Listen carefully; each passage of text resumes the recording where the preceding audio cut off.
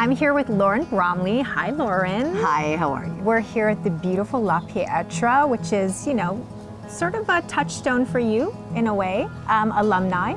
Would you like to say what class? Yeah. Got it. Okay. Um, so you're on the board here at Yes. La Pietra, and what does that mean for you? I joined the board about 10, 11 years ago. Okay. And my experience at the school was so special, I wanted to make sure that the specialness of the school continued. Mm. So I joined the board to try to have continuity with how the school was for me mm-hmm. and how it will be for the children and the girls in the future.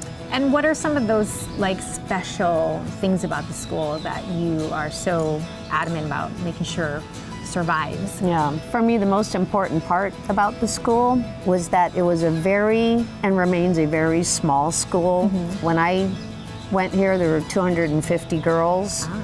and teacher to pupil, maybe 10 to 1. So if you needed special attention mm-hmm. or if you required a little assistance, you weren't lost in the rooms that had 100 students in it Right. to the one. To me, it was very important. I needed that little attention, and I needed to be the funniest person in school, and the competition was less because there's only 200 of us.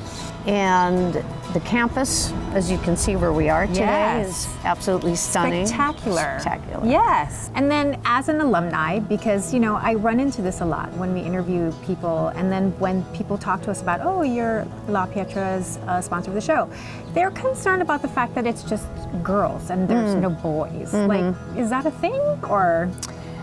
For me, it's very important that we remain all girls. It offered us an ability to just study and not have to look special and Right. not try to swag around trying to get anybody's attention. Uh-huh. So we had uniforms, mm-hmm. never had to decide what to wear and, and Right. how how to look for Bill or Right. Jack. And to me, the, the, the specialness of this school remains being one of the only all girls school mm-hmm. on this island. And then the girls just sort of have a camaraderie that's just really not there when there's other social pressures involved. Yeah. Did Yeah. you find that when you were at school Yes, here? yes, we were a team. Like for instance, if I'll, I graduated in '76.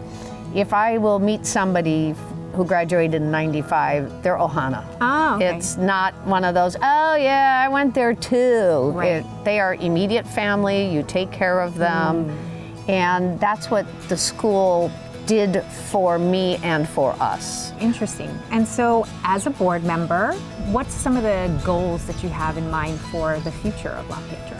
Well, I think the goals are, are simple to remain the same, to remain a small school. Mm-hmm. If anything, we want to be with the times. Got it. We don't want to be where you're using the old books and you know all our rooms have been redone and, and they're modern with electronic items in Mm-hmm. there. And so we're just trying to stay maybe ahead of the curve. Got it. So, you're grounded in tradition, but you guys definitely want to move into the next millennium Yes. with what the new technologies are. out Yes. Well, thank you for all of your dedication. Being a board member is hard work. Yeah, it is.